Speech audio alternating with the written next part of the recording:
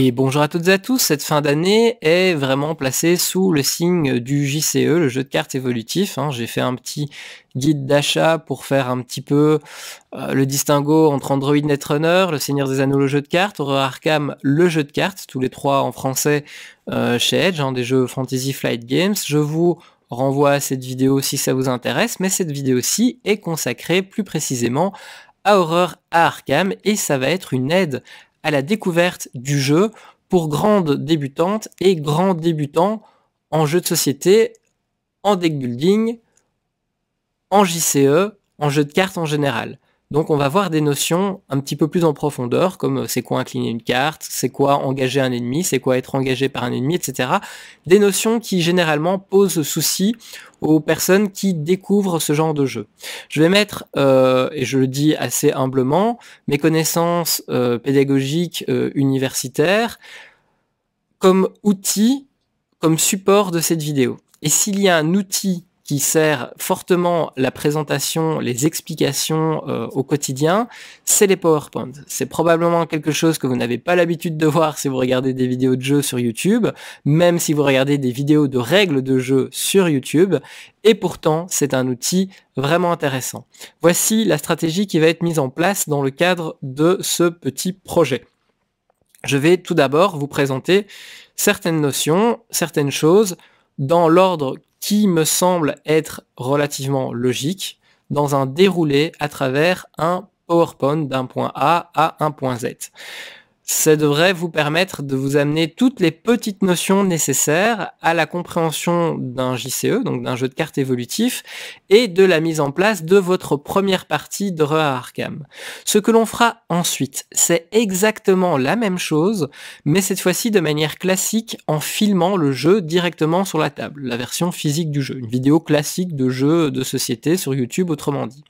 Et je pense sincèrement que l'association d'une présentation théorique, un petit peu comme ce n'est pas si abscon que ça finalement. Hein. Quand vous lisez le livret de règles, ça revient exactement au même. Vous ouvrez la boîte de jeu, vous lisez le livret d'apprentissage, vous faites une partie théorique et puis seulement vous commencez à chipoter avec le matériel. Ici c'est pareil. On va faire un petit aspect présentation théorie. Ensuite on passera peut-être dans une seconde vidéo et même très certainement dans une seconde vidéo pour que ce ne soit pas trop long à la, même série d'explications avec le jeu visuellement devant les yeux, et je pense sincèrement que l'association des deux devrait vous permettre de faire matcher les informations au niveau de votre mémoire. Alors, sans plus attendre, on va y aller. Il faut savoir que les JCE, les jeux de cartes évolutifs, ont quelques petites particularités. Et une de ces particularités qui fait peur aux débutantes et débutants, c'est le fait qu'ils possèdent énormément d'exceptions aux règles. Il y a assez peu de règles dans Horror Arkham. Sincèrement, le livret de règles est très court. C'est normal, il n'y en a pas beaucoup. Par contre, il y a énormément d'exceptions. Alors, est-ce que ça veut dire que c'est un jeu compliqué, complexe, et qu'il faut retenir énormément d'exceptions pour savoir jouer. Eh bien non, parce que la particularité des JCE, c'est que les exceptions ne sont pas à connaître, mais à lire, puisqu'elles sont immédiatement écrites sur les cartes. Mettons que Horror Arkham est fait de 5 règles et de 200 cartes, eh bien, sur ces 200 cartes, si vous appliquez chaque fois le texte sans vous poser de questions, vous, appliquez le texte qui est indiqué sur la carte que vous jouez, eh bien, il y a de fortes chances que ce soit une exception à une des cinq règles vues précédemment. Et pourtant, vous n'avez pas dû étudier cette exception par cœur, vous n'avez pas dû la retenir, puisque vous l'avez simplement lue et appliquée au moment de jouer la carte. C'est plutôt que, au lieu d'avoir 200 règles différentes dans le livret de règles, vous avez cinq règles principale et vous allez passer votre temps à bafouer généralement ces règles en jouant vos cartes. Mais il n'y a pas à s'inquiéter de ce nombre d'exceptions importants puisqu'il s'agit bêtement, et c'est vraiment le cas de le dire, bêtement d'appliquer le texte qui est indiqué sur les cartes. Attention, c'est une petite gymnastique mentale qui est demandée, cela dit, au début. Parce que ce qu'il va falloir faire, comme je l'ai dit, c'est appliquer bêtement, stricto sensu, le les mots qui sont indiqués sur les cartes. Et ça, on n'en a pas l'habitude quand on n'est pas habitué à jouer à des jeux de société. Quand on lit un texte, on nous a appris toute notre vie à voir ce qu'il y avait au-delà du texte, à l'interpréter, à ne pas le prendre au sens littéral du terme. Eh bien, dans ces jeux, si, justement, il faut appliquer le texte au sens littéral.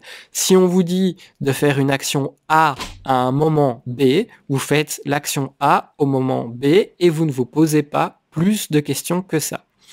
Ensuite, il y a, avec les jeux de cartes, les jeux de cartes évolutifs, un vocabulaire particulier, un champ lexical. Alors je suis sûr que les trois premiers mots que j'ai listés, vous les connaissez déjà, même si vous n'avez jamais joué à un jeu, mais juste au cas où, ça va prendre 5 secondes.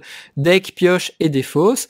Un deck, c'est tout simplement un paquet de cartes. C'est aussi simple que ça, et on prend, c'est vrai, un certain plaisir à utiliser ce vocabulaire plutôt que parler en bon vieux français de France. Piocher, c'est prendre une carte au-dessus d'un paquet, donc au-dessus d'un deck de cartes. Parfois, on pioche aussi un objet, un token. Un token, c'est un pion, un jeton, si vous préférez, parfois en métal, parfois en carton. Ici, ils sont en carton. Donc piocher, c'est prendre la première carte au-dessus d'un paquet, que ce soit un paquet face visible ou face cachée. Et la défausse, c'est la pile dans laquelle vous allez venir poser les cartes qui ne sont plus utilisées. Attention, la défausse est utilisé souvent dans les jeux pendant la partie. Il ne faut donc pas défausser vos cartes directement dans la boîte en vous disant que vous allez gagner du temps sur le rangement en fin de partie. Il y a énormément d'effets de cartes, surtout dans les jeux de cartes justement, où vous allez pouvoir retourner chercher des cartes dans la défausse. C'est donc une pile qui doit rester accessible près de vous en général. Il y a par contre deux mots, deux termes qui vous sont peut-être non familiers si vous découvrez votre premier jeu de cartes. Ce sont les termes inclinés et les termes engagés. Incliné signifie, encore une fois littéralement, que vous allez prendre votre carte et la tourner à 90 degrés comme sur l'image que vous avez devant les yeux. Vous la passez du mode portrait au mode paysage. L'idée qui se cache derrière l'inclinaison d'une carte, c'est le fait que vous avez mis cette carte en mode pause. La carte a probablement fait quelque chose, hein, un, ennemi a attaqué par exemple, ou bien vous avez utilisé une carte avec euh, un objet, et le texte ou une règle du livret vous dit qu'une fois que ça a été fait, vous devez incliner la carte, et ça représente le fait que cet objet n'est plus utilisable pour l'instant, que cet ennemi ne peut plus attaquer pour le moment. Bref, c'est une pause, c'est une désactivation de la carte. Il y a un moment bien précis du jeu, on le verra bien sûr, où vous allez redresser toutes les cartes qui ont été inclinées et ces cartes vont de nouveau être actives. Les ennemis pourront de nouveau attaquer à un moment, l'objet pourra de nouveau être utilisé, etc. C'est tout ce qui se cache derrière cette notion d'inclinaison et donc il n'y a vraiment pas à psychoter sur ça, c'est assez simple. Le terme d'engagement, par contre, au niveau déplacement de cartes, au niveau manipulation de cartes, c'est assez simple à comprendre, ça l'est un peu moins dans tout ce qui se cache derrière. Dans Horror Arkham, il y a deux façons d'engager. Vous pouvez engager l'ennemi, ou l'ennemi peut vous engager. Voilà, c'est plutôt pas deux façons d'engager, c'est deux sens à l'engagement. Soit vous engagez un ennemi, soit c'est un ennemi qui vous engage. Mais dans les deux cas, vous vous retrouvez engagé avec cet ennemi. Au niveau manipulation de cartes, c'est simple. Quand un ennemi vous engage ou que vous engagez un ennemi, vous prenez la carte de l'ennemi là où elle est dans l'aire de jeu, on verra à quoi ressemble l'aire de jeu par la suite, et vous placez cet ennemi devant vous.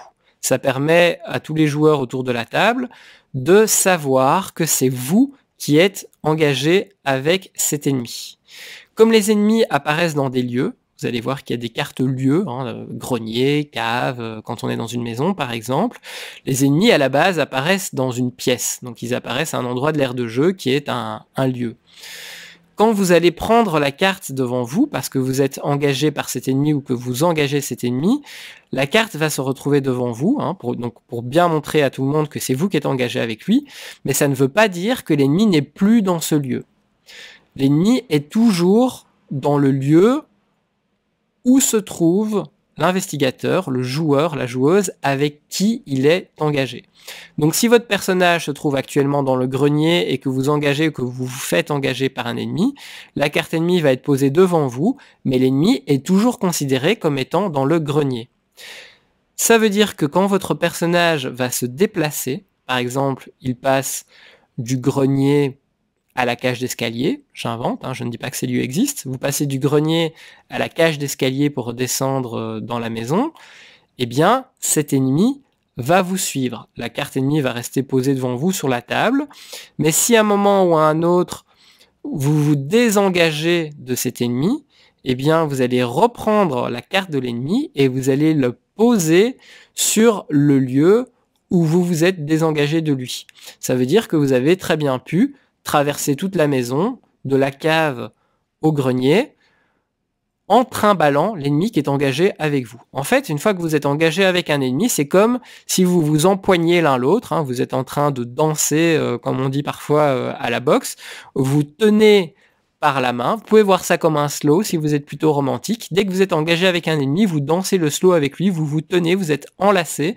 Et donc quand votre investigateur, votre personnage va se déplacer d'une pièce à l'autre, eh bien il le fait en emmenant son partenaire de combat, son partenaire de danse. Et donc quand vous vous désengagez de l'ennemi, vous prenez la carte de l'ennemi vous allez le positionner dans le lieu dans lequel vous êtes arrivé. Et puis vous pouvez éventuellement vous déplacez dans un autre lieu et l'ennemi va rester là où il se trouve. On verra que les ennemis peuvent aussi bouger, etc. Mais que veut dire donc cette notion d'engagement? On peut se douter que engager un ennemi, rien que par la notion militaire que fait sonner le terme engagé, sert à combattre. C'est vrai, mais pas seulement. Parce que dans Horror Arkham, on peut attaquer un ennemi avec lequel on est engagé, on peut aussi attaquer un ennemi avec lequel on n'est pas engagé. La seule condition, c'est d'être dans le même lieu qu'un ennemi. Si vous êtes dans le grenier avec un ennemi, vous pouvez l'attaquer. Si vous êtes dans la cave et que l'ennemi est dans le grenier, vous ne pouvez pas l'attaquer puisque vous n'êtes pas dans le même lieu. Mais si vous êtes tous les deux dans le grenier, vous n'êtes pas forcément engagé avec lui. Pourquoi? Eh bien peut-être que cet ennemi est engagé avec une autre joueuse, avec un autre joueur, avec un autre investigateur s'ils sont déjà en train de danser le slow dans un coin du grenier, rien ne vous empêche de prendre votre batte de baseball et d'aller quand même lui taper sur la tête. Alors, à quoi sert cette notion d'engager un ennemi? Eh bien, quand un ennemi est engagé avec un joueur, c'est à ce joueur que cet ennemi va faire des dégâts. Et parfois, malheureusement, un joueur n'est plus en mesure d'encaisser les dégâts qu'un ennemi va faire. Si on prend cet exemple-ci, cet ennemi, à chaque attaque, fait deux points de dégâts à la santé normale et deux points de dégâts à la santé mentale. C'est beaucoup et c'est dangereux. S'il ne vous reste plus qu'un point de santé ou un point de santé mentale, l'investigateur qui va être attaqué par cet ennemi sera vaincu. Eh bien donc, vous arrivez dans le grenier, vous voyez que votre camarade est engagé avec cet ennemi-là et qu'il est mal barré. Vous pouvez faire le choix d'engager cet ennemi. Donc vous tapez sur l'épaule euh, de l'ennemi, vous lui dites et si tu dansais avec moi maintenant? Et hop, il se met à danser avec vous, il est désormais engagé avec vous. Vous prenez la carte de l'ennemi, vous la posez devant vous, et désormais, c'est vous qui prendrez les dégâts quand cet ennemi va attaquer, parce qu'il est engagé avec vous. Voilà à quoi sert le fait d'engager un ennemi. Ce faisant, votre camarade ne danse plus avec cet ennemi-là, hein, puisque le slow ne concerne toujours que deux personnes, et votre petit camarade va par exemple pouvoir enquêter dans la pièce ou se sauver dans une autre pièce sans emmener l'ennemi, puisqu'il n'est plus en train de danser le slow avec lui. Voilà concrètement à quoi sert la notion d'engagement. C'est pour ça que vous pouvez attaquer un ennemi même si vous n'êtes pas engagé avec lui il est engagé avec un camarade, vous arrivez derrière et boum, vous lui mettez un bon coup de masse sur l'arrière du crâne. Mais attention, s'il était engagé avec vous, vous réussissez à toucher, vous lui faites un ou des dégâts. Vous ratez votre attaque, il ne se passe rien. Par contre, s'il avait été engagé avec un autre joueur et que vous ratez votre attaque, le ou les dégâts vont être appliqués à l'autre joueur. Reprenons notre exemple de danseur. Vous arrivez au grenier, vous avez votre camarade investigateur qui est engagé avec un ennemi, ils sont en train de danser gentiment au slow dans un coin de la pièce. Vous arrivez par derrière, vous n'engagez pas l'ennemi, donc vous ne le prenez pas avec vous, mais directement, boum, vous attaquez. Vous donnez un bon gros coup de batte sur la tête, enfin vers la tête de l'ennemi, mais malheureusement, vous le savez, en slow, on tourne sur place, et donc le petit couple tourne et vous loupez l'ennemi. Et dans ces cas-là, votre batte arrive sur la tête de votre petit camarade. Et oui, si un ennemi est engagé avec un joueur et que vous attaquez cet ennemi, que vous ratez votre attaque, vous allez infliger des dégâts au joueur engagé avec cet ennemi. Il vaut donc mieux engager un ennemi pour être sûr que personne ne souffre d'une attaque ratée. Sachant que dans ce jeu, si vous arrivez en présence d'un ennemi et qu'il n'y a pas d'autre investigateur, il va automatiquement s'engager avec vous quoi qu'il arrive. Ça veut dire que quand vous jouez en solo au jeu, quand vous jouez avec un seul investigateur, un seul personnage, quand vous allez arriver dans une pièce, systématiquement, s'il y a un ennemi présent, l'engagement va être automatique. Vous verrez plus tard qu'il y a des ennemis qui n'engagent pas forcément, mais ça, c'est pour plus tard. Le matériel du jeu, il est extrêmement simple, le livret de règles, le guide de référence avec un supplément de règles, les cartes et les pions. Comme les cartes, on aura l'occasion de les voir en long, en large et en travers, voici un simple descriptif des différents tokens. Pourquoi est-ce que je vous les montre? Comme ça, quand j'expliquerai par la suite que vous prenez 2-3 euh, pions de ressources par exemple, eh bien vous avez déjà eu euh, un aperçu visuel des tokens, euh, enfin des pions, de ce à quoi ils ressemblent, et donc ce n'est pas une information abstraite que votre cerveau doit retenir en attendant de mettre une image dessus. Le plus simple, c'est probablement de commencer par ceci, qui sont euh, les cœurs qui représentent les dégâts à la santé physique. C'est avec ça que vous allez blesser les adversaires, c'est avec ça que les adversaires vont vous blesser. Vous prenez un point, deux points ou trois points de dégâts, eh bien vous avez ces petits tokens pour le représenter. Les petits cerveaux représentent les dégâts faits à votre santé mentale, puisque vous avez une santé physique, une santé mentale dans le jeu.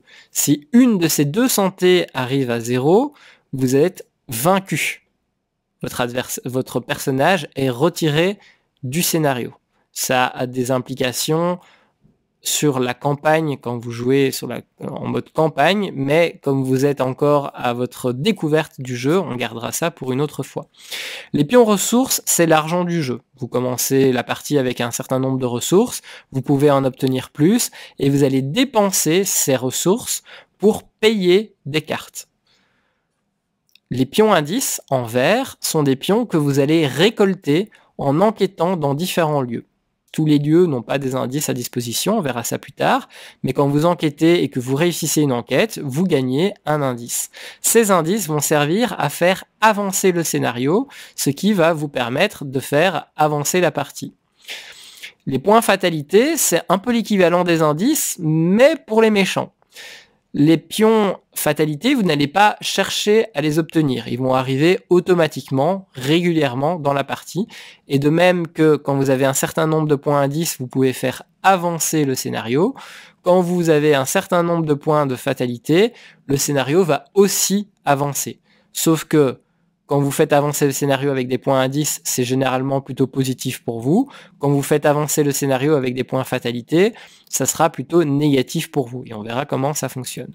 Et enfin, vous avez les fameux pions du chaos qui vont servir un petit peu de dés dans ce jeu. Il n'y a pas de dés, on pioche des pions dans un sac ou dans un bol ou une tasse, peu importe, on pioche secrètement euh, au hasard, je veux dire, un pion, on révèle son effet et ça fait office de dés dans le jeu.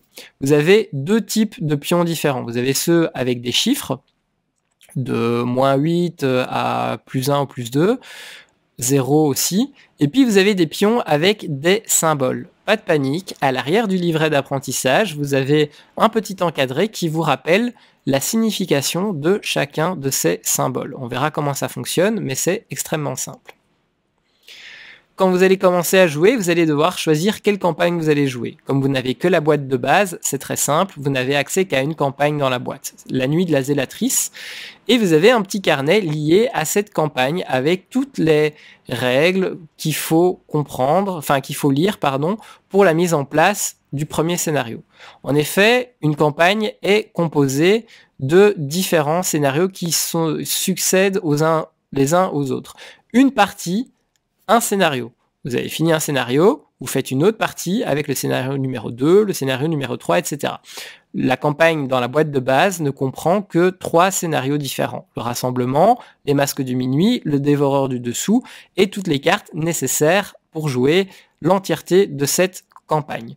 Quand vous, quand vous allez lire ce carnet, on vous explique dans le plus simple des français quelles cartes il faut prendre dans la boîte en disant euh, le numéro des cartes par exemple ou leur nom et on vous dit ce qu'il faut en faire. On vous dit de les mélanger, on vous dit de les poser sur la table. Il n'y a vraiment rien de compliqué. Donc je passe euh, toute cette partie-là puisqu'il n'y a absolument rien de compliqué là-dedans.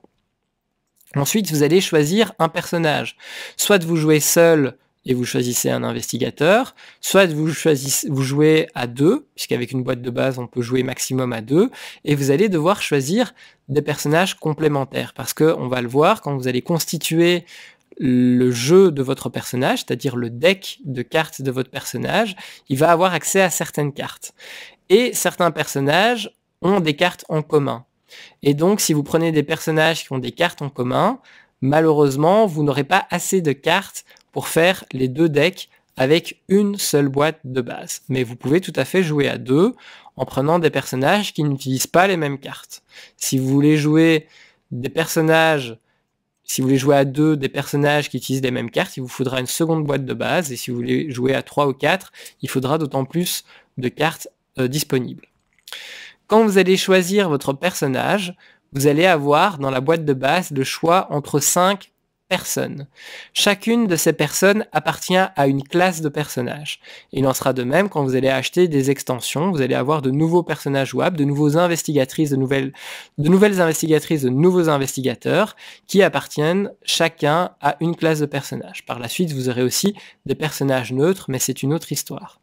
Les personnages appartiennent aux classes soit gardien, soit chercheur, soit mystique, soit truand, soit survivant, et chaque classe est représentée par un de ces symboles. Ces symboles sont importants, ils sont apposés également sur les cartes et ça va vous permettre de savoir à quelle classe appartient la carte que vous avez en main.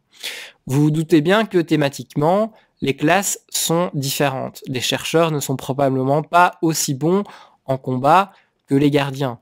On se doute bien que les mystiques doivent avoir accès à des pouvoirs, à des sorts, à des capacités spéciales.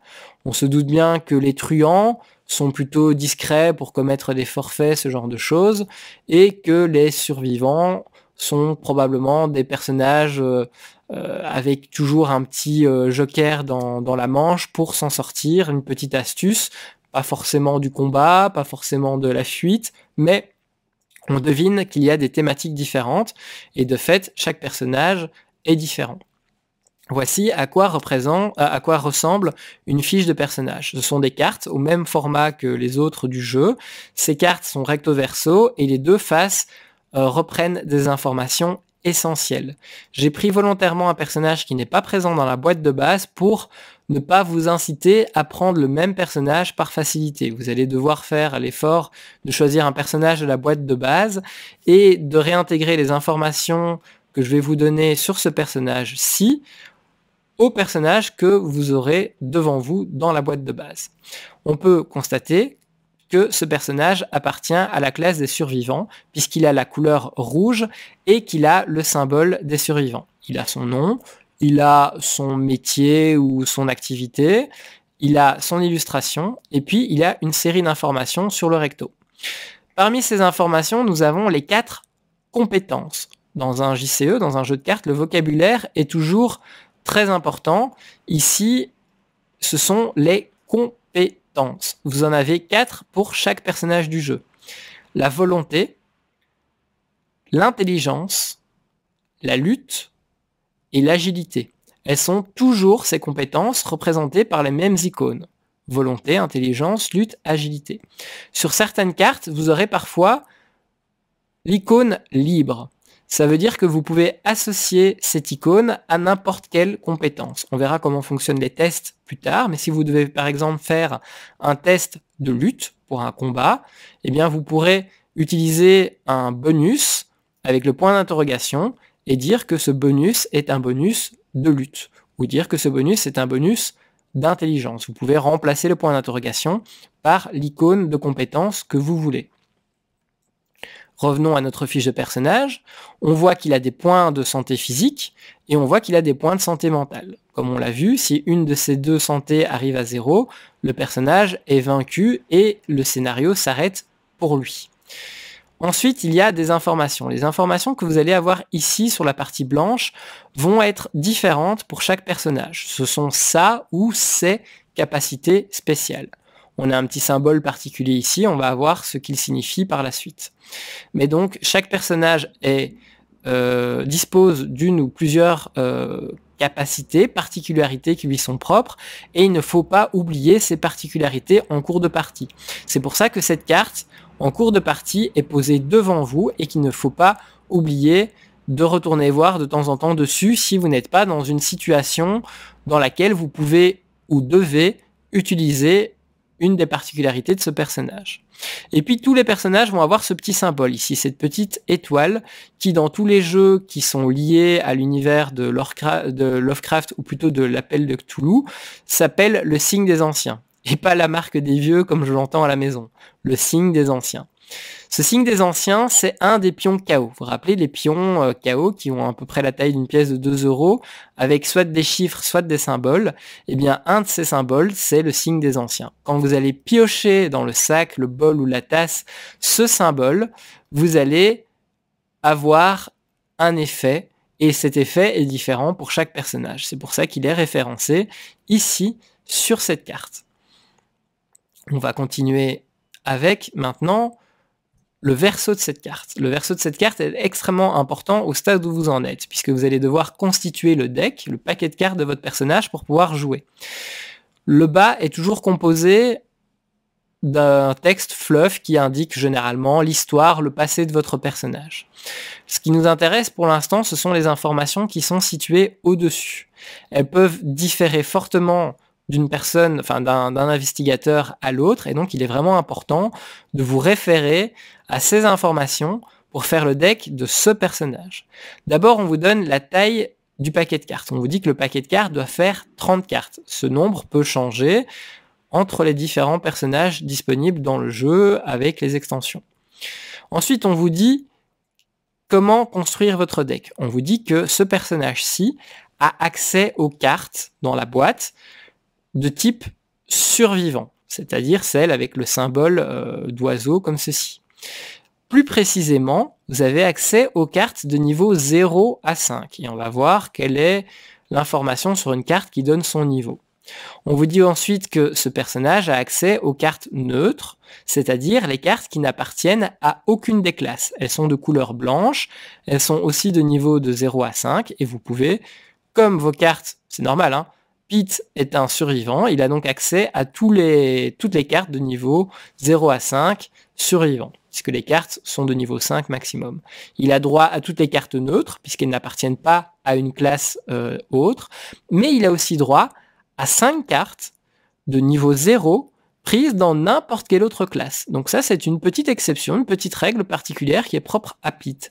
On aurait pu avoir un autre personnage, un gardien par exemple, qui dit vous avez accès à toutes les cartes gardiens de niveau 0 à 5, aux cartes neutres de niveau 0 à 5 et aux cartes chercheurs de niveau 0 à 2. Donc il suffit de respecter ce qui est indiqué ici. Ensuite, vous avez les exigences du deck, c'est-à-dire ce que vous devez mettre obligatoirement comme carte dans le paquet.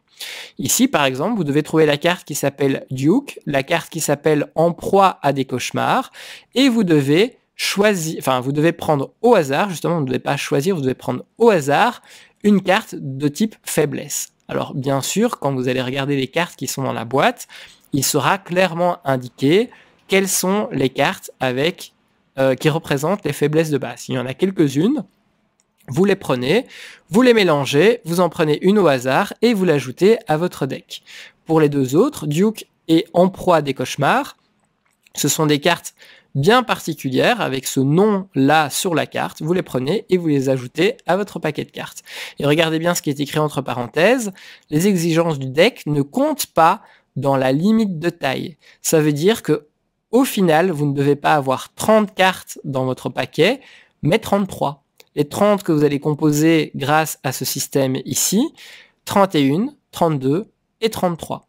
Quand vous regardez les exigences du deck, très souvent vous allez avoir euh, une carte avantage intéressante pour votre personnage. Ici c'est Duke, c'est quelque chose qui va aider votre personnage.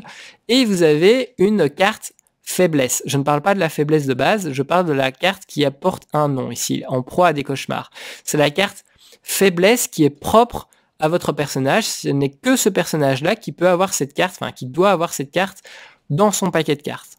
Le principe des cartes faiblesse, c'est que quand vous allez les piocher en cours de partie, il va vous arriver des mauvaises choses. Ça représente le passé, l'histoire de votre personnage, des choses qui le hantent, des choses qui lui ont fait peur, des choses qu'il a vécues, et ça va se traduire par des effets néfastes pour lui en cours de partie. Et donc lui, il a une carte intéressante, une carte négative piège euh, qui traîne dans son deck, plus une autre carte piège, piégeante qui malheureusement va lui sauter potentiellement à la figure à un moment de la partie quand il va la piocher. Il a donc, comme tous les personnages, une faiblesse qui lui est propre et une faiblesse tirée au hasard qui permet de varier les parties. Les cartes que vous allez pouvoir mettre dans votre deck sont de différents types et sont les suivantes. Vous avez les cartes soutien, compétences, événements et faiblesses. On l'a vu, les faiblesses, ce sont de mauvaises cartes qui malheureusement, quand vous tombez dessus, vont amener généralement un effet négatif. Je dis généralement parce que c'est pas toujours vrai. Quand vous tirez la carte faiblesse, vous allez appliquer le texte de la carte et c'est tout parce que toutes les cartes faiblesses ne se jouent pas de la même façon. Il y a des cartes faiblesses qui vont vous obliger à réaliser un effet et puis vous allez défausser la carte. Il y a des cartes faiblesses qui vont vous obliger à faire un effet et puis la carte va retourner dans votre deck et vous allez remélanger votre paquet. Elle reviendra peut-être plus tard. Il y a des cartes faiblesses que vous allez devoir poser devant vous sur la table. Mais encore une fois, comme je l'ai dit au début, ces différentes règles, ces différentes exceptions ne sont pas à connaître puisqu'il suffit de lire le texte et de l'appliquer. On nous dit par exemple ici, c'est écrit un peu petit mais je vous le lis, quand cette carte est révélée, lors de la révélation, ajoutez T, c'est le nom de la carte, donc ajoutez cette carte à votre zone de menace. La zone de menace, c'est la zone devant vous où vous allez mettre les ennemis qui sont engagés avec vous. Elle va donc rester sur la table, elle n'est ni défaussée et elle ne retourne pas dans le deck. Il est précisé ensuite que vous perdez moins 1 à chacune de vos compétences. On a vu que Pete avait des points de compétences, hein, de volonté, intelligence, lutte, euh, agilité. Eh bien, euh, s'il avait 3 en lutte, désormais, il n'a plus que 2 en lutte. Puis, il y a des petits symboles flèches ici, mais on va euh, y revenir plus tard. Les cartes événements, ce sont des cartes que vous allez jouer de votre main en les posant directement dans la défausse. Pour ça, vous allez payer leur coût. Cette carte, elle a un coût de 1. Vous allez devoir payer une ressource. rappelez les petits pions avec la petite caisse dessinée dessus. Vous défaussez une ressource et cette carte va aller dans la défausse et bien sûr vous appliquez l'effet qui est indiqué dessus. La carte soutien, on finira par la carte compétence parce que c'est un peu particulier.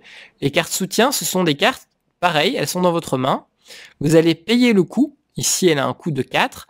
Vous allez la poser devant vous sur la table, dans une zone dédiée aux différents soutiens de votre investigateur, et vous aurez accès désormais aux capacités, au texte de cette carte.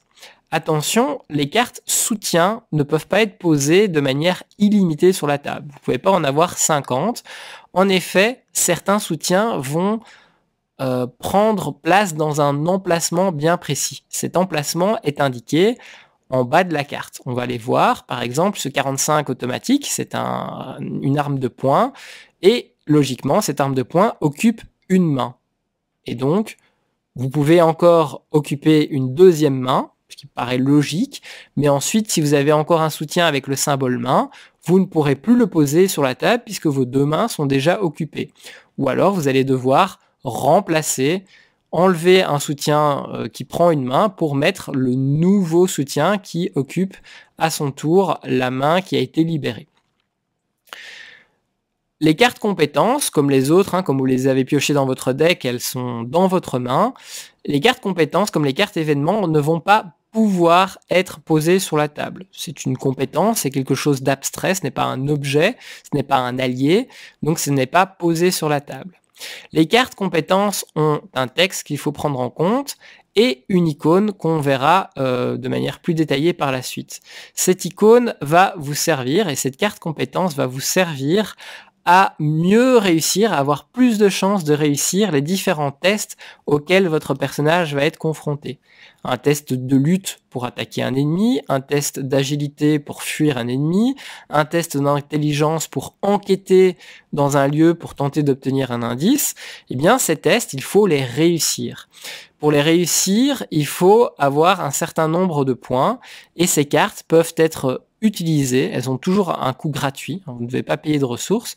Vous pouvez défausser ces cartes de votre main pour améliorer la compétence concernée. Si vous faites un test de lutte dans une attaque, par exemple, et que vous avez 3 en lutte, vous pouvez défausser cette carte qui a un petit symbole de point. Alors c'est pas très clair, hein, je suis désolé, mais c'est un petit point ici, c'est la compétence de lutte. Vous défaussez cette carte pendant le test et vous gagnez un point en plus en lutte. Votre lutte n'est donc plus de 3, mais de 4. Et s'il fallait faire 4 ou moins, vous aurez réussi votre test grâce à ce petit bonus momentané de compétences. Ce bonus n'est valable que pendant le test que vous faites. Donc si vous dépensez cette carte compétence lutte euh, pendant un test, hein, que vous passez de 3 à 4, dès que le test est fini, vous redescendez à 3 de lutte. Ce n'est pas euh, votre personnage n'évolue pas euh, comme ça de manière continuelle au cours de la partie on va prendre une seule carte du jeu, une carte que j'ai pris au hasard, pas tout à fait au hasard parce qu'elle a une illustration de Magali Villeneuve que j'aime beaucoup, en tout cas dont j'aime beaucoup le travail, et on va disséquer une de ces cartes de manière un petit peu plus euh, étendue avant de continuer. On a une carte avec un liseré orange qui est la couleur des chercheurs, de la classe chercheur. Et d'ailleurs, on a bien le symbole de la classe chercheur en haut à droite. C'est donc probablement une carte dans un deck d'un investigateur de la classe chercheur ou d'un autre investigateur qui a accès aux cartes de niveau 0 des chercheurs. Comment est-ce que je sais que cette carte est de niveau 0 Eh bien parce qu'il n'y a pas de petit point blanc dans le cercle ici. Si cette carte avait été de niveau 3, il y aurait eu trois petits points blancs ici dans la partie noire du cercle. Quand vous commencez la campagne de la boîte de base, vous n'avez accès qu'à des cartes de niveau 0. J'aurais peut-être dû le dire quand on était euh, sur la fiche de personnage, parce que c'est pas précisé dessus, c'est précisé dans les règles. Mais quand vous commencez une nouvelle campagne, vous devez toujours avoir des cartes de niveau 0. Vous ne pouvez donc avoir aucune carte avec 1, 2, 3, 4 ou 5 petits points blancs illuminés ici dans le cercle. Cette carte a aussi un coût de 2. C'est une carte soutien, elle est dans ma main. Si je veux la jouer et la poser sur la table, il va falloir que je dépense 2 pions ressources. On voit que c'est une carte soutien parce que c'est indiqué ici.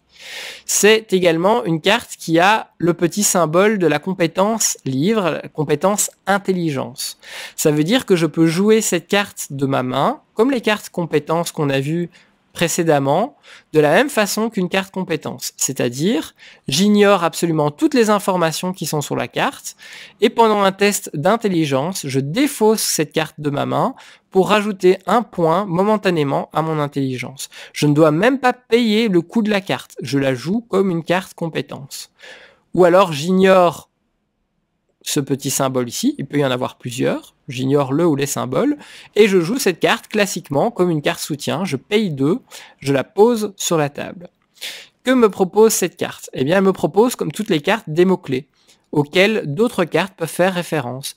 Par exemple, si un effet de carte me dit de tuer un allié, je peux prendre, enfin, je dois prendre cette carte et la mettre dans ma défausse si c'est mon seul allié.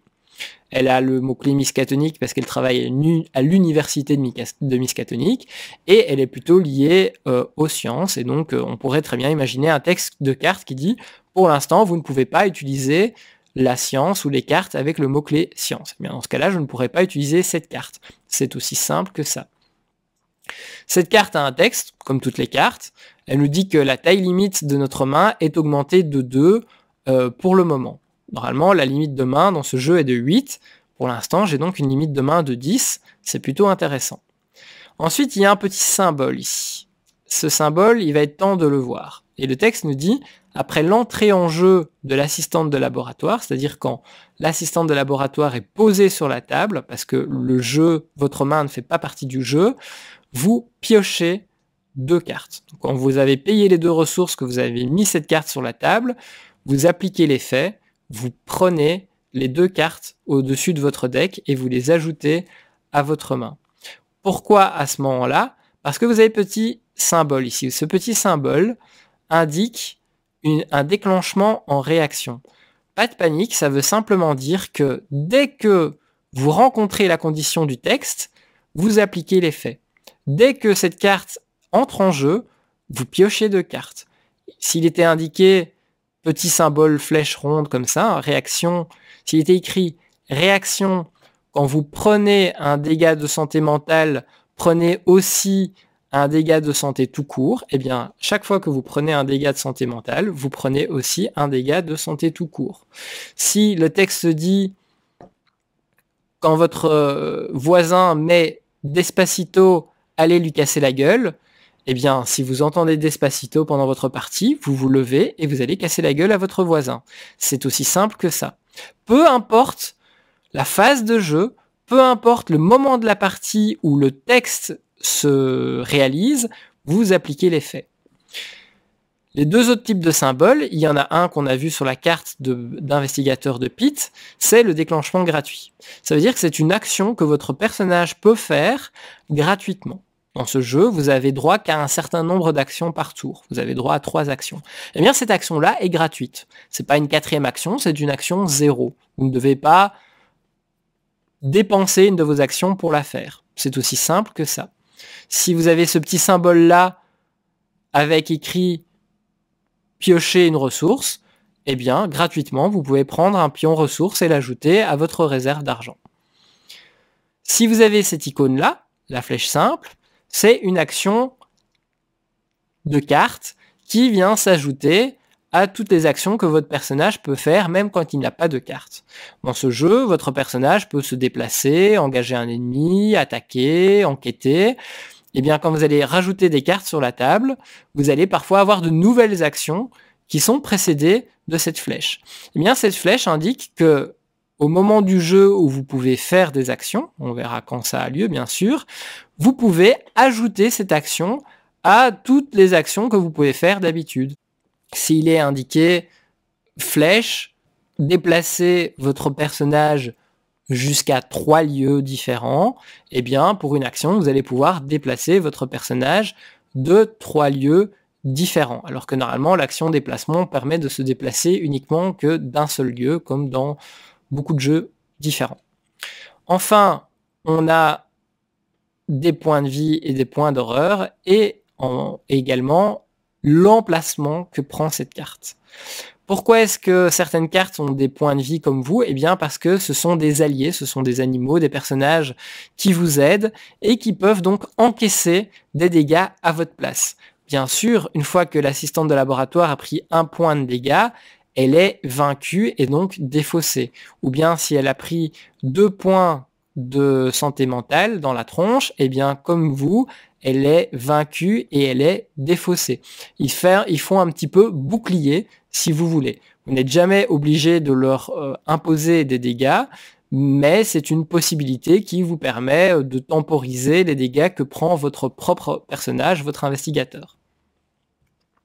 Voici les différents emplacements euh, que peut prendre une carte soutien.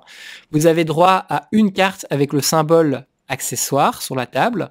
Vous avez droit à une carte avec un emplacement de corps, une carte avec un emplacement d'allié, et par contre vous avez droit à deux emplacements de main et à deux emplacements d'arcane. Essayons d'être logiques. On ne porte en général qu'un seul collier. On porte en général qu'un seul pull. Retenez que vous ne pouvez avoir qu'un seul allié avec vous. Et les mains, eh bien, on en a deux. Les arcanes, il va falloir retenir également que vous avez droit à deux. Attention, comme je l'ai dit, certaines cartes représentent directement les deux mains ou directement les deux arcanes. Par exemple, si vous tenez un fusil, il y a de fortes chances que ça occupe vos deux mains. Vous ne pourrez donc pas poser encore une main seule puisque ça voudrait dire que vous utilisez une troisième main. Pareil pour les arcanes, certaines cartes représentent le fait que euh, l'arcane que vous tenez prend déjà les deux emplacements disponibles. Donc ça, c'est important de ne pas l'oublier pour ne pas avoir trop euh, d'avantages, sinon vous allez déséquilibrer le jeu, et il n'est pas fait pour évidemment. Voici un petit agrandissement euh, des fameuses icônes de compétences sur une carte de compétences d'ailleurs. Cette carte, je l'ai dans ma main. Je dois, par exemple, faire une enquête. Je fais une action d'enquête dans un lieu pour tenter d'obtenir un indice. Je dois vaincre, euh, je dois faire, je sais pas, mettons 4 ou plus pour réussir le test. Et je n'ai que 2 en intelligence. Et eh bien, grâce à cette carte que je défausse de ma main, je me rajoute un troisième et un quatrième point en intelligence. J'ai donc 4 en intelligence au lieu de 2 pendant le temps du test. Ensuite, je vais piocher un pion du chaos back, un pion chaos, et c'est ça qui va finir euh, de régler le test, puisque le chaos bag va baisser ou augmenter mon niveau de compétence. Et c'est comme ça que je saurai si j'ai réussi ou raté le test. On va donner un indice concret. Quand vous êtes dans une pièce et que vous désirez enquêter, la pièce vous dit quel score vous devez faire pour réussir votre enquête et obtenir un indice. C'est ce qu'on appelle la valeur, occulte du lieu. On, le reverra en, voyant pardon, excusez-moi, les cartes lieux. Si la valeur occulte du lieu est de 2, eh bien, votre enquête va devoir se finir avec un test de compétence où vous faites 2 ou plus.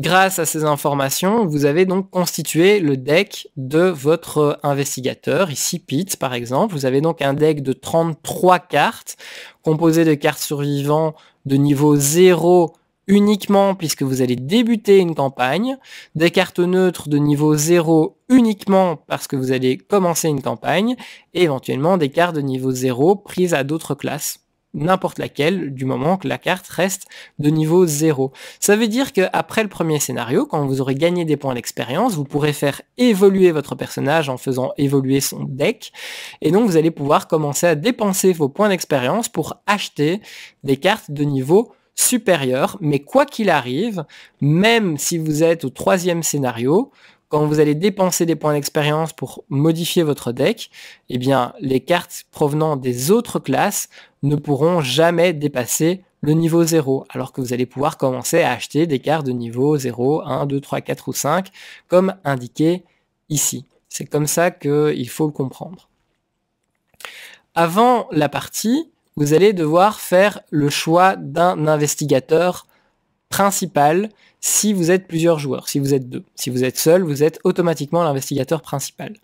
L'investigateur principal, son rôle, ça va être de trancher quand il y a une décision à prendre. Par exemple, un ennemi doit se déplacer vers un investigateur et il a deux personnages à sa portée et rien dans les règles vous dit quelle est la cible prioritaire pour cet ennemi. C'est à ce moment-là que l'investigateur principal tape du poing sur la table et décide vers qui va se diriger cet ennemi si rien ne permet de faire le choix.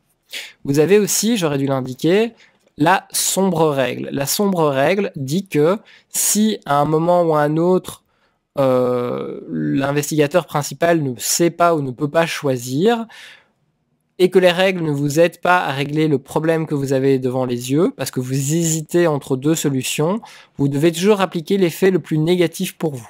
Par exemple, vous vous retrouvez dans une situation où vous n'êtes pas sûr que vous devez vous prendre un dégât et que rien dans les règles, absolument rien dans les règles ou dans les cartes ne vous explique quoi faire, ce qui est plutôt rare en général, hein, c'est même très rare, et eh bien dans ce cas-là, si vous hésitez, vous prenez le dégât.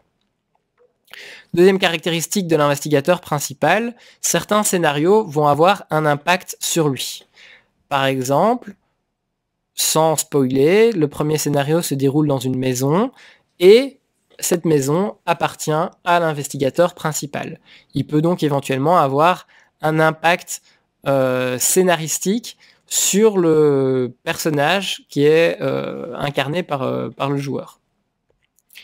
Ensuite, la mise en place du scénario, parce qu'à un moment, on a choisi son personnage, on a fait son deck, on voudrait bien commencer à jouer. Comme je l'ai dit, le livret de campagne va vous expliquer très clairement les cartes que vous devez prendre et comment vous devez les placer sur la table. Donc, interdiction pour moi de vous expliquer quoi faire, c'est du simple français à lire et à appliquer. Par contre, ce qu'on va voir, ce sont les différentes cartes qui sont concernées par cette mise en place. Vous avez, alors ça c'est un petit peu embêtant, ce bug visuel, je vous le cache pas. Vous avez les cartes intrigue, les cartes actes, la carte de référence du scénario, les cartes lieux, les cartes ennemies et les cartes traîtrises. On va commencer par les ennemis et les traîtrises. C'est très simple. Le jeu vous dit quels ennemis et quelles cartes traîtrises il faut prendre dans la boîte. Vous allez en faire une pile, les mélanger, donc un deck, les mélanger et le poser face cachée. Ce sont les cartes que vous allez piocher à certains moments et qui sont en général, vous l'aurez compris, jamais bons pour vous. Et même toujours jamais bons pour vous. La carte de référence du scénario, c'est la carte qui va vous donner la traduction des symboles des jetons chaos qu'il y aura dans le Chaos Bag. Je vous l'ai dit en début de vidéo, il y a différents types de jetons chaos. Il y a ceux avec des chiffres qui vont avoir un impact sur vos tests de compétences, et il y a ceux avec un symbole. Les tentacules rouges, c'est un échec automatique au test. Mais il y a aussi d'autres symboles.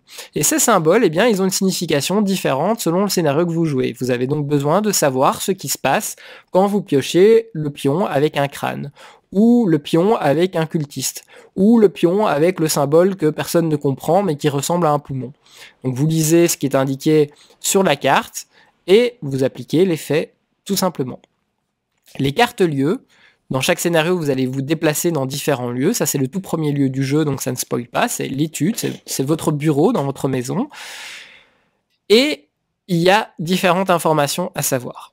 Le jeu, le livret de campagne, va vous expliquer quels sont les jeux, euh, quels sont les lieux joués dans ce scénario. C'est vraiment désagréable. Euh, quels sont les différents lieux joués dans ce scénario et ce que vous devez en faire. Est-ce qu'il faut les positionner directement sur la table ou est-ce que vous pouvez les laisser de côté en attendant de les poser sur la table au moment où le jeu vous le dira. Toujours est-il que les lieux sont toujours posés sur la table. Alors c'est pas très clair, mais ici vous avez un petit symbole noir qui est un symbole de serrure. Ça montre que cet endroit n'a pas encore été exploré, qu'il n'y a encore personne dedans. La première fois qu'un investigateur ou une investigatrice va se déplacer sur un lieu qui n'a jamais été exploré, vous allez retourner la carte sur le côté où n'apparaît pas la serrure pour montrer que ce lieu est dévoilé, ce qui va bien sûr faire apparaître un nouveau texte et des effets propres à ce lieu. Comme information, vous avez aussi un chiffre, on l'a déjà évoqué, c'est la valeur occulte. Ça veut dire que c'est la valeur à égaler ou à battre dans une enquête pour obtenir un pion indice. Combien est-ce qu'il y a de pions indices sur ce lieu? Eh bien, c'est indiqué dans l'autre cercle. Il y a dans l'étude deux pions indices, deux pions verts par investigateur. À côté, il y a une petite tête qui représente les joueurs, les investigateurs. Donc ici, si on jouait à deux, il y aurait quatre pions indices. Chaque fois que quelqu'un réussit à battre la valeur occulte en faisant une action d'enquête, il va pouvoir prendre un des deux ou des quatre indices présents. Ou le dernier, ou des trois indices, s'il y en a déjà qui ont été pris. Une dernière information, mais qui n'est pas visible euh, sur ce dessin, ce sont les petits symboles qui vont être dans les cercles ici en dessous et qui indiquent vers quel euh, lieu vous pouvez vous déplacer à partir de celui-ci. On y reviendra. Et enfin, vous avez les cartes intrigues et les cartes actes. Vous avez en général trois cartes qui forment le paquet intrigue et trois cartes qui forment le paquet acte. Vous avez donc une carte 1A, 1B, 1C, 1A, 1B, 1C. Vous les superposez pour que le A soit au-dessus, puis le B, puis le C rien de chinois là-dedans. Et vous voyez que vous pouvez poser les deux paquets l'un à côté de l'autre. Thématiquement, ça forme une sorte de livre qui vous raconte un petit peu l'histoire. Attention, ça pousse à croire qu'à un moment, on va prendre la carte ici et qu'on va tourner la page en mettant la carte là. Ce n'est pas le cas. Ces deux decks sont, représentent un livre thématiquement, mais ce sont deux paquets indépendants. Le paquet acte, c'est le paquet sur lequel vous allez venir poser les indices à certains moments que vous avez obtenus. C'est comme ça, hein, ici on voit qu'on doit poser deux indices par investigateur euh, en jeu. Une fois que vous avez posé ces deux, ces deux indices par investigateur en jeu, même si un investigateur a été vaincu, il compte toujours. Eh bien, une fois que c'est fait, vous allez pouvoir retourner la carte, lire ce qui est écrit derrière, en général des effets sur la partie, et ensuite continuer avec la carte suivante. Les jetons indices utilisés sont alors défaussés et on repart à zéro pour la carte suivante. La carte intrigue, vous voyez qu'il y a un chiffre aussi. C'est pour les fameux pions fatalité. À chaque tour de jeu, il y a un pion fatalité qui va être ajouté et des effets de carte peuvent aussi rajouter des pions fatalité. Quand on aura trois pions sur cette carte-là, on va retourner la carte, on va lire ce qui est écrit et on va continuer à jouer avec la carte suivante. Les pions de fatalité sont enlevés et on recommence à mettre des pions de fatalité à partir de zéro chaque fois que le jeu nous dit de le faire. Voilà pour les cartes que vous allez devoir utiliser dans votre préparation d'un scénario. Les cartes ennemies et traîtrises mélangées ensemble pour faire le paquet rencontre, les cartes intrigues superposées dans l'ordre, les cartes actes superposées dans l'ordre. C'est ces deux paquets-là qui vont faire avancer le scénario en bien, généralement, ou en mal, généralement. La carte de référence qui vous aide à savoir ce que veut dire les pions que vous allez tirer dans le Chaos Bag, et les différents lieux que vous allez, à un moment ou à un autre, faire apparaître et parcourir dans votre partie. Quand vous commencez la partie, vous prenez 5 pions ressources les pions ressources, c'est les petites caisses en bois, et vous les posez devant votre personnage. C'est l'argent avec lequel vous débutez la partie. Vous allez donc pouvoir, dès le premier tour, commencer à payer des cartes si vous le souhaitez.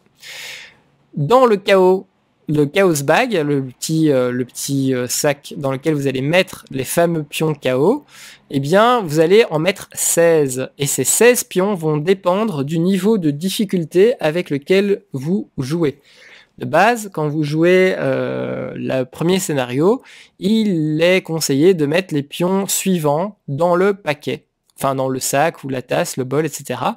Un plus un, donc le seul pion qui va, euh, euh, qui va vous aider à réussir, enfin à augmenter euh, votre test lors de bah, lors d'un test tout simplement. Donc si vous avez 4 en lutte, que vous faites un test de lutte et que vous tirez ce pion là, eh vous n'êtes plus à 4 mais vous êtes à 5, ce qui vous permet s'il fallait faire 4 ou plus pour euh, battre un ennemi, eh bien de réussir à le battre. 2 pions 0 qui ne modifie pas votre compétence. 3 pions moins 1 qui, pas de chance, diminue votre lutte de 4 à 3, par exemple des pions moins 2, des pions moins 3, un pion moins 4, ça commence à piquer. Les têtes de mort, la tête de cultiste et l'espèce de poumon, euh, il faut vous référer eh bien, à la fameuse carte de référence pour savoir qu'est-ce que ça signifie dans le scénario en cours. Les petites tentacules, c'est un échec automatique du test, peu importe votre niveau de compétence.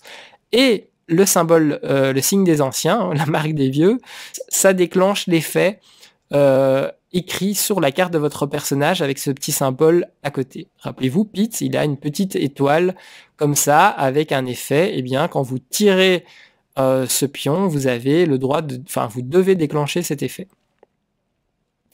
Voici à quoi va ressembler l'aire de jeu.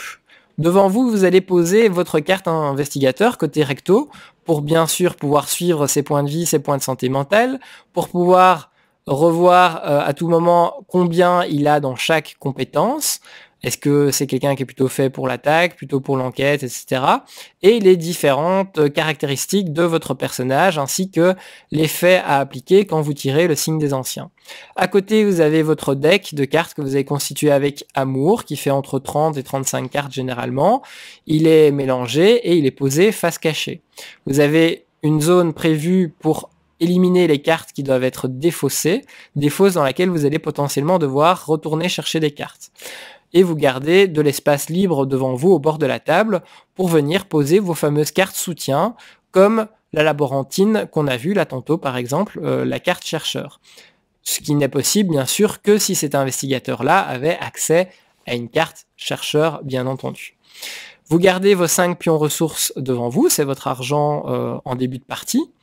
Vous considérez qu'il y a une zone de la table euh, au-dessus de, bah, hein, au bord de la table, vous avez cette zone-ci, et puis juste derrière, vous avez votre zone de menace où vous allez venir poser les ennemis qui sont engagés avec vous ou toutes les cartes qui vous disent d'être mises dans la zone de menace. Vous avez bien sûr tous les pions qui sont euh, à portée de main.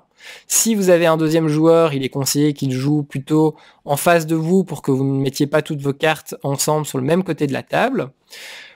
Comme vous voulez, au milieu de la table, vous mettez bien sûr euh, la carte de référence hein, avec les explications des différents symboles des pions KO, le deck acte, le deck intrigue, le deck rencontre avec les ennemis et les traîtrises qui ont été mélangés, et la défausse de, du paquet rencontre.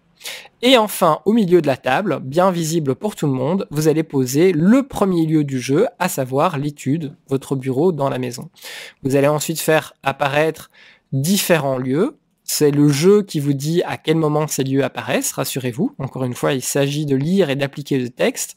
Eh bien, dans ces cas-là, vous prenez les lieux en question et vous les posez toujours au milieu de la table euh, sur le côté avec le cadenas visible, avec la serrure visible. Et quand un investigateur se déplacera dans ce lieu, comme je l'ai expliqué, vous retournerez la carte.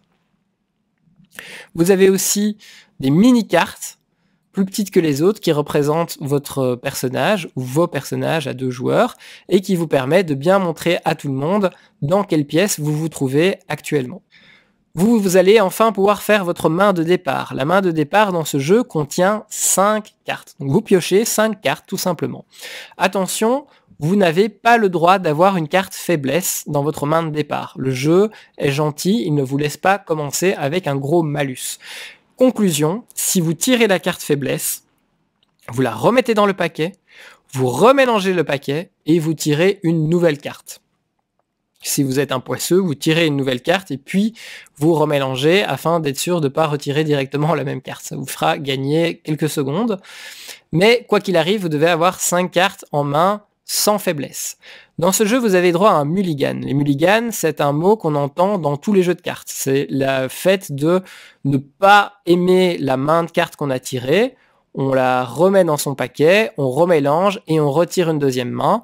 Et cette main, en général, doit être acceptée quoi qu'il arrive. C'est le cas dans Horror Arkham, vous n'avez droit qu'à un seul mulligan.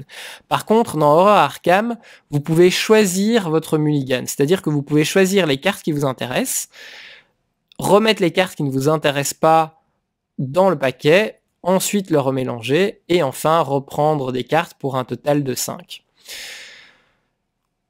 Un conseil, c'est avoir des soutiens dans votre main de départ et jouer rapidement ces soutiens afin que dès que des problèmes vous tombent dessus, vous ayez déjà de quoi euh, booster un petit peu votre personnage. Si vous n'avez pas de soutien dans votre main de départ, si vous n'avez que des compétences et des cartes événements, il est probablement conseillé de euh, refaire un mulligan complet parce que vous n'avez pas d'armes par exemple. Ensuite, il faut savoir, maintenant que l'on va commencer à jouer, on a nos cinq euh, ressources, on a notre main de départ, on a tout posé sur la table, il faut savoir comment se déroule un round de jeu. Un round est constitué de quatre phases qui vont euh, se répéter inlassablement l'une après l'autre. La phase de mythe, la phase d'investigation, la phase d'ennemi et la phase d'entretien. Attention, lors du premier round, il n'y a jamais de phase de mythe. On commence immédiatement avec la phase d'investigation. On pourrait dire qu'ils auraient du coup dû mettre le mythe en quatrième position. Ça aurait fait pour le premier round, investigation, ennemi, entretien, et puis mythe, investigation, ennemi, entretien, et le cycle aurait été respecté. Sauf que comme j'ai dit, dans les jeux de cartes, tous les mots sont importants. Et donc si quelque chose intervient à la fin d'un round, par exemple, eh bien c'est à la fin de la phase d'entretien, et pas à la fin de la phase de mythe. Le mythe doit donc rester la première phase du jeu, même si on ne la fait pas lors du premier round. Vous voyez que vraiment l'important, les mots ont vraiment leur importance. Alors quelles sont ces différentes phases? On va commencer par la phase d'investigation puisque c'est la première que vous allez faire. La phase d'investigation, ne vous oblige pas à jouer toujours dans le même ordre autour de la table si vous êtes deux. Si vous êtes plusieurs joueurs, hein, si vous avez plusieurs boîtes de base et que vous jouez à trois ou quatre, euh, c'est à chaque tour que vous allez décider qui joue en premier, puis qui joue en deuxième, qui joue en troisième. Bien sûr, vous jouez un à la fois, vous faites toutes vos actions avant de passer à la joueuse ou au joueur suivant. Pendant la phase d'investigation, c'est la phase où les investigateurs, comme le monde est bien fait, vont pouvoir réaliser leurs différentes actions. C'est le moment où vous êtes le plus actif. Dans ce jeu, vous avez droit à, de faire trois actions, sauf si c'est contredit par une carte, bien sûr. Vous avez droit à trois actions. Il y a toute une série d'actions de base que tout le monde peut faire, que l'on va voir ensemble.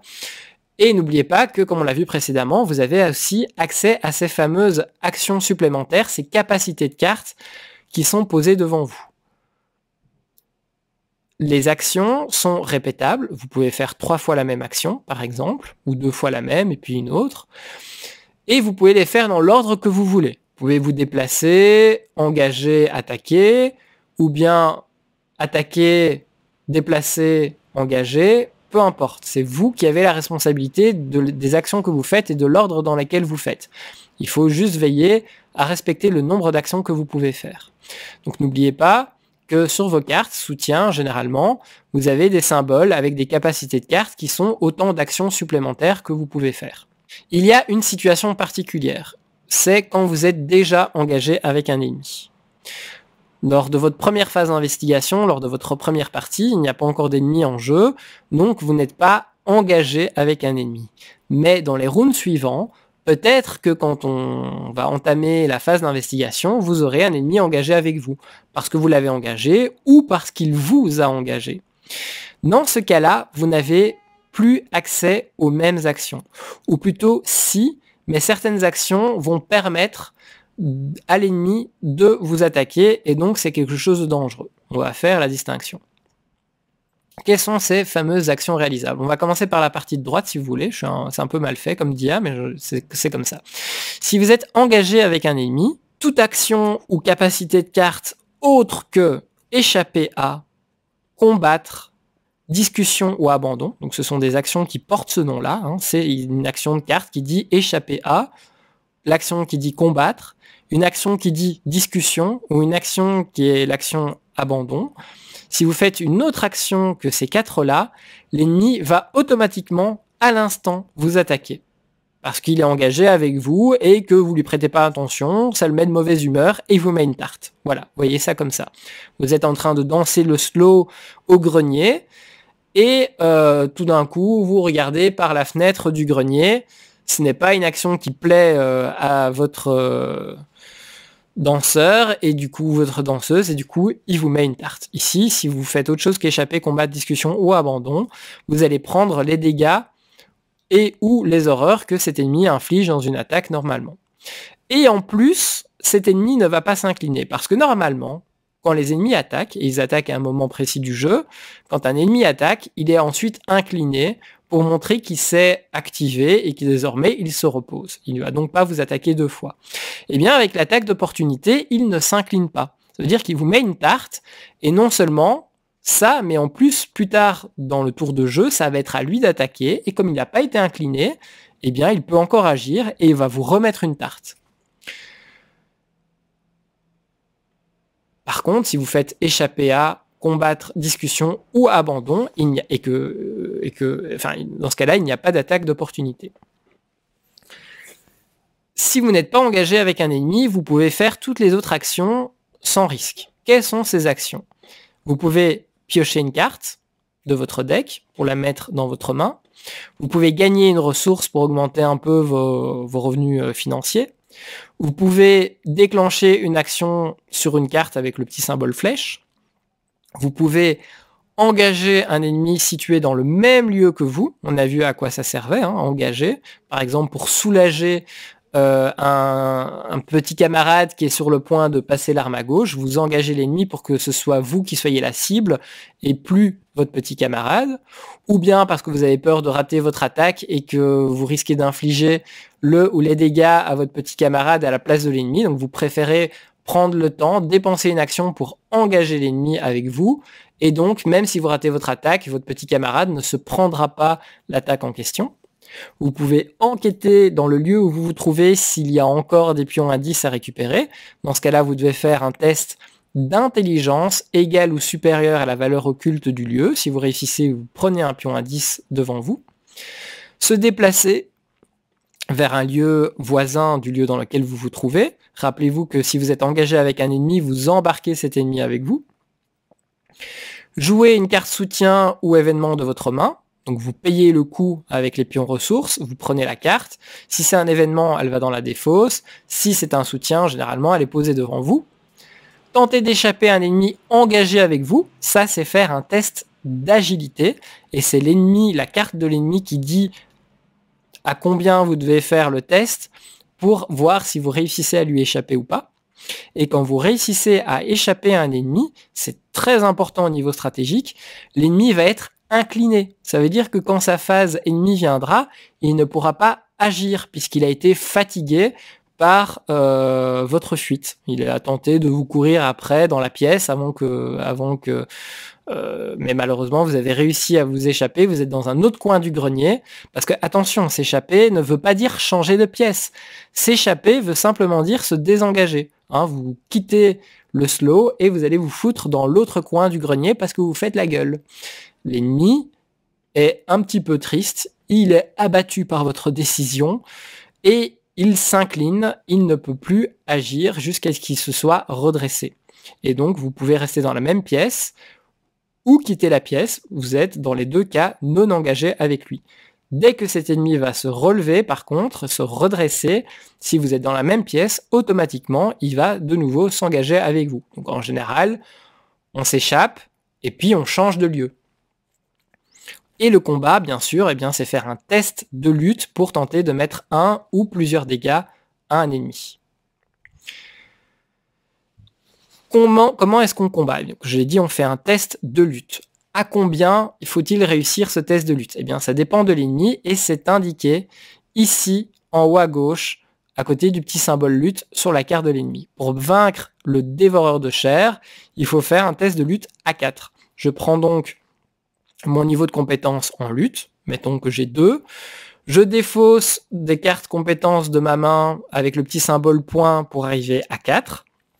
Je n'ai rien d'autre qui me permet d'augmenter ma lutte, donc je croise les doigts je pioche un token dans le Chaos Bag, et si le résultat final me fait un 4 ou plus, j'ai réussi le combat, je pose un dégât sur cet ennemi. Combien a-t-il de points de vie? Eh bien, c'est le chiffre du milieu, il a 4 points de vie. Quand il n'a plus de points de vie, l'ennemi est défaussé. Certains ennemis ne rapportent pas de points d'expérience, certains ennemis rapportent des points d'expérience. C'est écrit sur leur carte. Ces points d'expérience, à la fin du scénario, vous les additionnez et vous pourrez les utiliser pour améliorer votre deck en achetant des cartes plus puissantes. Si vous voulez fuir un ennemi, c'est-à-dire réussir à vous désengager d'un ennemi engagé avec vous, vous devez faire un test d'agilité. C'est le chiffre de droite. C'est le chiffre avec le petit qui correspond à votre compétence d'agilité avec la petite chaussure ailée. Dans ce cas-ci, si j'arrive à faire un test euh, de 1 ou plus, j'arriverai à me désengager de cet ennemi. Ça ne veut pas dire que je change de lieu. En parlant de changer de lieu, on ne peut pas changer de lieu n'importe comment. On ne peut pas passer par exemple du grenier à la cave. On se doute bien qu'il y a au moins un étage intermédiaire. C'est la raison pour laquelle vous avez des petits symboles sur les cartes qui vous indiquent de où à où vous pouvez aller. Par exemple, le vestibule, en haut à gauche, a un petit symbole carré. La cave, en bas de sa carte un petit symbole carré. Ça indique que vous pouvez passer du vestibule à la cave puisque ces deux lieux ont un symbole en commun. La cave, elle, si vous regardez en haut à gauche de sa carte, on voit pas très bien, mais elle a une croix. C'est pas un carré, c'est une petite croix. Le vestibule, en bas, a également une petite croix. Ils ont un symbole en commun. Vous pouvez donc passer de la cave au vestibule. Et du vestibule à la cave. Assurez-vous toujours qu'il y ait un symbole en commun entre deux lieux. C'est comme ça que le jeu va vous permettre de gérer des déplacements logiques d'un lieu à l'autre. Et n'oubliez pas que quand vous êtes engagé avec un ennemi, vous passez la porte en dansant le slow et vous emmenez votre ennemi avec vous. Phase des ennemis, c'est la deuxième phase que vous allez rencontrer dans le jeu. Donc vous avez la phase d'investigation où vous pouvez faire vos actions. Ensuite, c'est aux ennemis de jouer et vous allez devoir faire les choses dans un certain ordre. Premièrement, vous allez devoir déplacer les ennemis qui ont le mot-clé chasseur sur leur carte. Bien sûr, vous déplacez les chasseurs qui sont non inclinés. Si dans la phase d'investigation, la phase précédente, vous avez fui un chasseur avec lequel vous étiez engagé, comme vous avez réussi votre fuite, sa carte a été inclinée. Comme il est incliné, il est fatigué, il est en pause, il est désactivé, il ne peut pas agir, il ne va donc pas se déplacer. Les chasseurs se déplacent de un lieu maximum et uniquement s'ils sont seuls. Ils se déplacent toujours vers l'investigateur le plus proche, et s'ils démarrent dans une pièce avec déjà un investigateur, eh bien forcément ils ne se déplacent pas. Ils vont engager immédiatement cet investigateur-là. Parfois, la carte d'un ennemi précise euh, la proie de cet ennemi. Et donc, ce n'est pas forcément l'investigateur le plus proche. Ça peut être l'investigateur qui a le moins de points de vie restants, par exemple. Donc, il faut toujours respecter le texte de la carte. Dès qu'un ennemi euh, arrive sur un investigateur, il va l'engager automatiquement, immédiatement. Ensuite, ce sont les attaques. Et donc, on comprend que quand un ennemi vous arrive dessus, quoi qu'il arrive, il va vous attaquer puisque l'engagement se fait avant l'attaque. Quand un ennemi est engagé avec vous et n'est pas incliné, à cause d'un effet ou d'un autre, eh bien, il vous attaque il attaque l'investigateur avec lequel il est engagé et va appliquer ses dégâts. Les dégâts en blessure et en horreur qu'il fait sont indiqués en bas de la carte de l'ennemi. Par exemple, il peut faire deux dégâts de santé normale et deux dégâts de santé mentale, deux horreurs, comme on dit. Une fois une attaque réalisée, un ennemi s'incline et il est euh, donc désactivé. Un ennemi ne va donc attaquer qu'une fois par tour. Enfin, vous vérifiez sur la carte si vous l'avez... Euh, non, et oubliez le gain d'XP ou non, ça c'est quand on a vaincu un ennemi, c'est une erreur du PowerPoint. Il n'y a pas de gain d'XP, les ennemis ne gagnent pas d'XP, il faut vérifier ça au moment où vous avez détruit un ennemi. Et vous ne détruisez pas les ennemis pendant la phase des ennemis, vous détruisez les ennemis quand vous les attaquez, et donc plutôt généralement dans la phase d'investigation. La phase suivante, c'est la phase d'entretien. C'est le moment où toutes les cartes inclinées, autant les ennemis que vos cartes à vous, se redressent. Et à ce moment-là, si vous retrouvez en présence ennemi investigateur, eh bien, il y a automatiquement engagement entre les deux. Vous prenez la carte de l'ennemi et vous le posez devant l'investigateur concerné dans la zone de menace de ce joueur-là. Vous piochez ensuite une carte gratuitement de votre deck, vous prenez une, ressource gratuitement de la réserve et vous vérifiez votre main. Votre main dans ce jeu doit être maximum de 8 cartes. Si vous en avez plus, vous allez devoir défausser pour revenir à 8.